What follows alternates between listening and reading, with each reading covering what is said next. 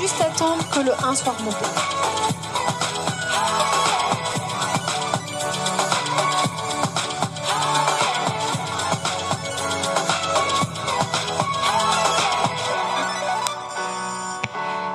Alors, Alice Gomez, c'est le dossard 13 sur Simba de Bonneval pour les écuries de la Croix d'Achère.